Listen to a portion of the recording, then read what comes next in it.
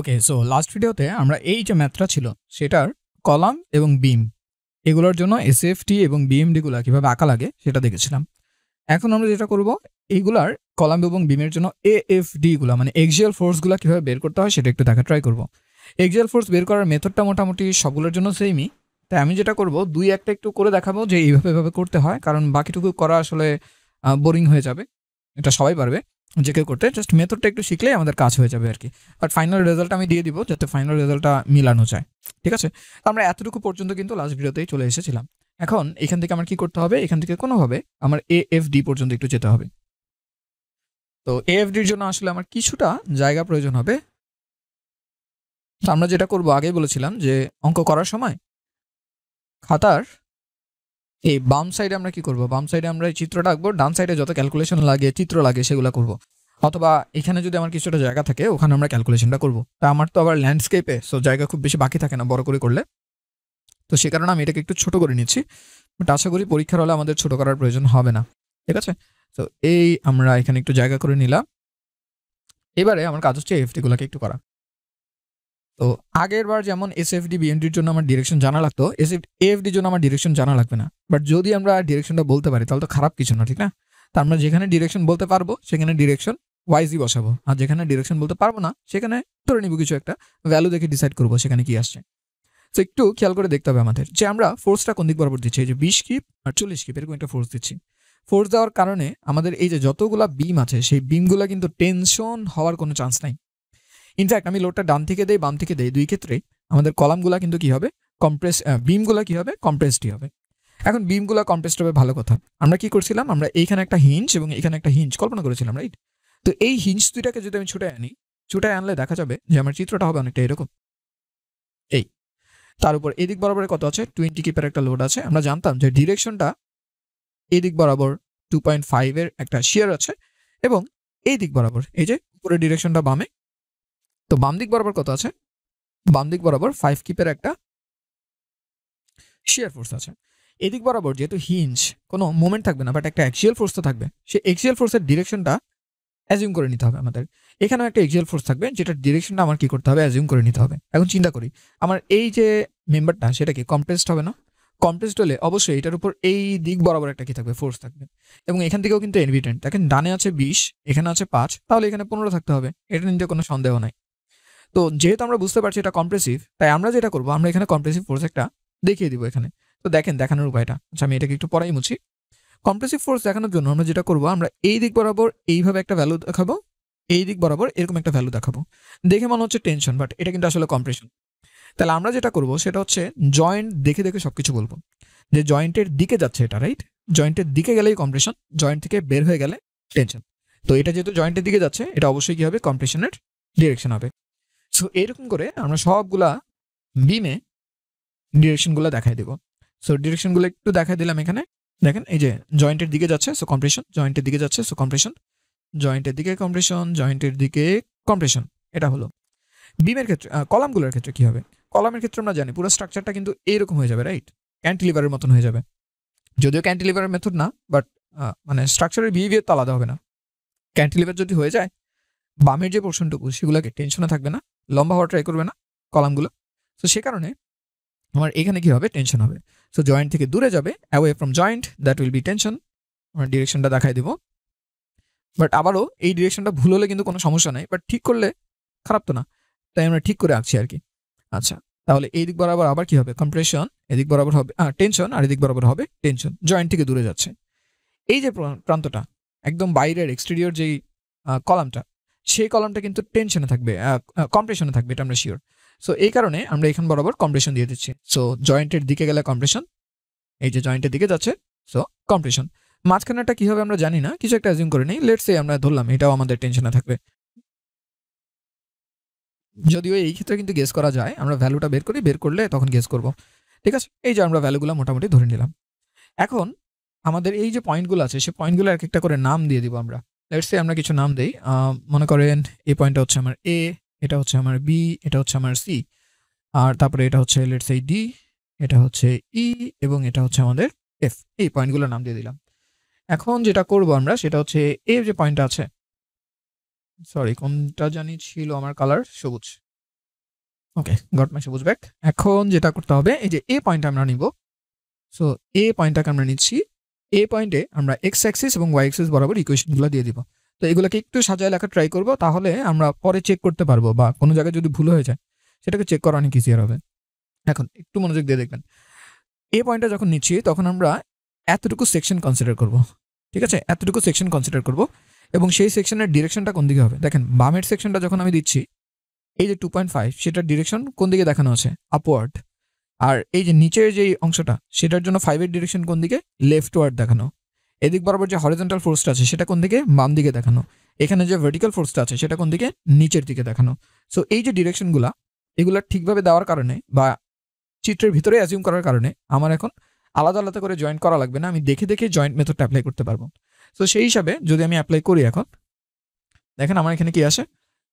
X axis বরাবর apply করতে চাই। সো এক্স অ্যাক্সিস বরাবর আননোন একটা ফোর্স আছে। আমি ধরে নিব সেটা হরিজন্টাল এইচ সো যেহেতু বাম দিকে, তাই মাইনাস এইচ ডান দিক বরাবর একটা হরিজন্টাল ফোর্স আছে। সো প্লাস টোয়েন্টি আর এই দিক বরাবর বাম দিক বরাবর একটা হরিজন্টাল ফোর্স আছে। সো বাম দিক যেহেতু, তাই মাইনাস এটা ইকুলস টু জিরো এখান থেকে আমরা এইচ এর ভ্যালু পেয়ে যাচ্ছি কত? ফিফটিন ঠিক আছে? আবার ওয়ান ওয়ানে ফিরে গেছি আমরা সবাই। এনিওয়ে আর এরপরে থাকবে আমাদের ওয়াই ওয়াই এর জন্য যদি ইকুয়েশন দেই, তাহলে এই দেখেন উপরের দিকে একটা টু পয়েন্ট ফাইভ আছে। সো উপরের দিকে টু পয়েন্ট ফাইভ নিচের দিকে কি কেউ আছে? না, এখানে কেউ নাই।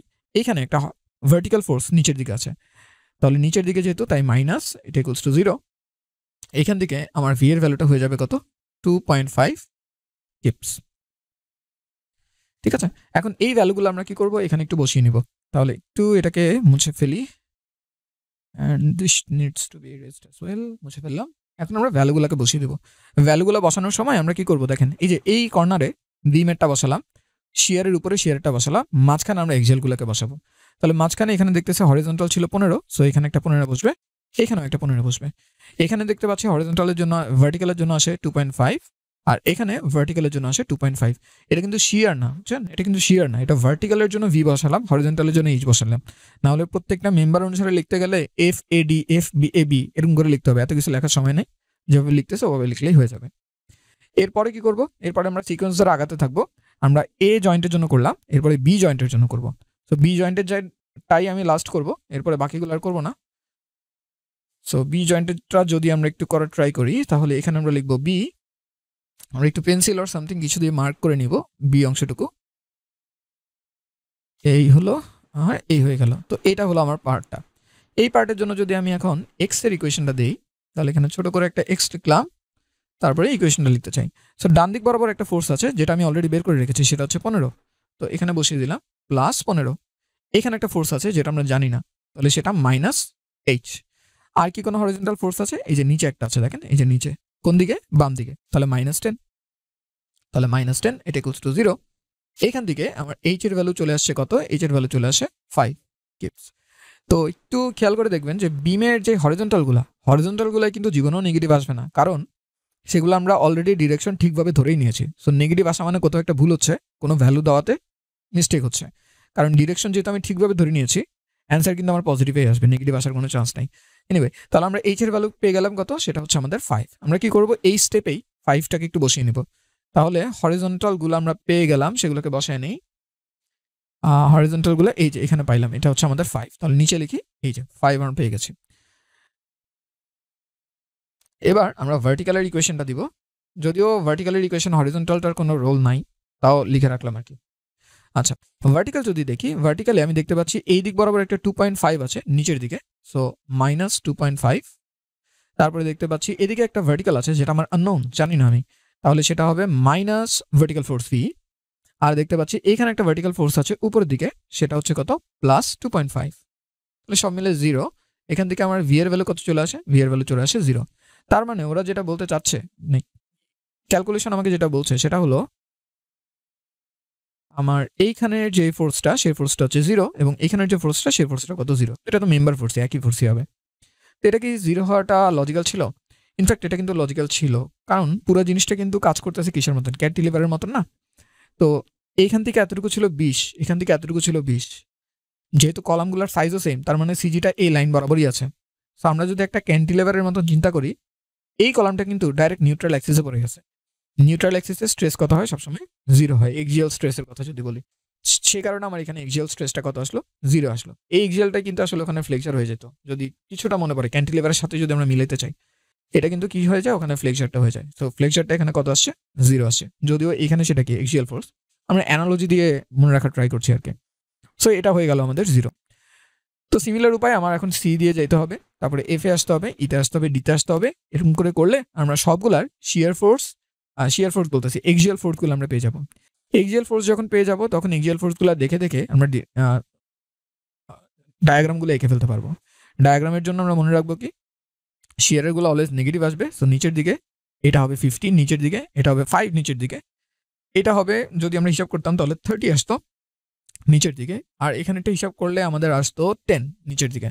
তো সেই হিসাব করে আমরা যদি এএফডিটা আঁকি তাহলে দেখেন ফিফটিন এখানে হচ্ছে ফাইভ এখানে হচ্ছে মাইনাস থার্টি এখানে হচ্ছে টেন একটু করে নেবেন, এটা জাস্ট মিলানোর জন্য রাখলাম আর কি। আচ্ছা আর যদি আমরা কলামেরগুলা দেখি, কলামের জন্য আমরা জানি বামের দিকে প্লাস হবে, ডানে গেলে কি হবে? মাইনাস হবে। তো সেই হিসাব করে আমরা যখন ভ্যালুগুলো বের করব, বের করার পর যখন বসাবো, বসালে আমাদের এইরকম একটা রেজাল্ট আসবে। যে বামে হলো টু পয়েন্ট ফাইভ ডানে হলো মাইনাস টু পয়েন্ট ফাইভ এবং এইখানেও আপনারা দেখতে পারবেন যে ক্যান্টিলিভারের যে অ্যানালজিটা এটা কিন্তু খাটতেছে। সবসময় খাটবে না বাট এই ক্ষেত্রে কিন্তু খাটতেছে। কীভাবে? এই যে টু পয়েন্ট ফাইভ এটা কিসে আছে? টেনশনে আছে। আর মাইনাস টু পয়েন্ট ফাইভ এটা কিসে আছে? কম্প্রেশনে আছে। এবং ভ্যালুগুলো কিন্তু সেম কারণ নিউট্রাল অ্যাক্সিস থেকে দুইজনের ডিস্টেন্সও সেম আর নিউট্রাল অ্যাক্সিস বরাবর যেটা, সেটা কিন্তু জিরো হয়ে গেছে। সো এই তো, এভাবে এরকম করে আমরা কি করব? এএফডিটা এঁকে ফেলতে পারব। এখানে আসলে নতুন করে শেখার কিছু নেই। ট্রিকটা যেটা, সেটা হচ্ছে ফ্রি বডি ডায়াগ্রামটা এখন আমরা ডায়াগ্রামের ভিতরে এঁকে ফেলব। মানে আমাদের যে ফ্রেমটা আছে, সেই ফ্রেমের ভিতরে এঁকে ফেলব। এবং সেখান থেকে আমরা জয়েন্টগুলো আকার যে স্টেপটা আছে, ওইটাকে জাস্ট স্কিপ করতে পারব। আর তেমন কিছু কিন্তু আমাদের স্কিপ করা যাচ্ছে না। আর যদি আমরা সিমেট্রিক দেখি, তাহলে গেস করে আমরা একটা বের করে ফেললে অন্যটা বলে দিতে পারব। সো এই হলো আমাদের টোটাল পোর্টাল মেথড তাহলে পোর্টাল মেথড যদি আসে, সবার প্রথমে আমরা বিম এবং কলামের শিয়ার এবং মুভমেন্টগুলো বের করে ফেলব। এবং এখানে দেখেন একটা প্যাটার্ন থাকে কিন্তু প্যাটার্নটা হচ্ছে এরকম। এস এস এম তারপরে আবার এস এই দুইটা হচ্ছে কার জন্য? সাফায়ত মুন্না, আমার নাম চলে আসছে এখানে। এই দুইটা হচ্ছে আমাদের কলামের জন্য। আর এই যে দুইটা এই দুটো হচ্ছে আমাদের বিমের জন্য। তাহলে এস এম এম এস আর সিবি প্রথমে শিয়ার তারপরে মোমেন্ট এরপরে ওই মোমেন্ট বের করে আরেকটা মোমেন্ট এরপরে হচ্ছে শিয়ার প্রথমে কারগুলা কলামেরগুলা, এরপরে হচ্ছে বিমেরগুলা। সো দ্যাটস ইট পোর্টাল মেথডে আর তেমন কিছু শেখার নাই। এবার বেশি বেশি এক্সপেরিমেন্ট করতে হবে। মানে এক্সাম্পল করতে হবে। আর আরেকটা জিনিস আসলে থাকে, সেটা হচ্ছে এই ধরনের বিম যদি হয়, তখন কীভাবে করবেন? লেটসে আমাদের কাছে ফ্রেমটা এমন দিল। এই তো? আর এখানের যে ফ্রেমটা সেটা তো মনে করেন একটা বক্স কম আছে। ঠিক আছে? তখন নিয়ম একদম এক্স্যাক্টলি একই। জাস্ট এইখানের যে বিম হ্যাঁ বিমের এখানে একটা মুভমেন্ট দেওয়ার কথা না, সেই মুভমেন্টটা আপনি এইখান থেকে না নিয়ে এই প্রান্ত থেকে নেবেন। ঠিক আছে? মানে সব অ্যানালাইসিস একদম এক্স্যাক্টলি সেম থাকে, কোনো পার্থক্য হবে না। কলামেরগুলো তো কোনো পার্থক্য হবে না। শুধু এইখানের যে বিম সেটা হিসাব করার সময় আমরা কি করতাম? আমরা এখানের ভ্যালুটা থ্রু আউট সব জায়গায় বসাইতাম না, এটা করবেন না। এখানের বিমের ভ্যালুটা আপনি এখানে বসাবেন এখানে বসাবেন এখানে বসাবেন। এইখানের যে ভ্যালুটা আছে সেটা এই জায়গা থেকে নেবেন। মানে এই কলামেরটা থেকে যে ভ্যালুটা পাবেন সেই ভ্যালুটা এখানে নিয়ে নেবেন।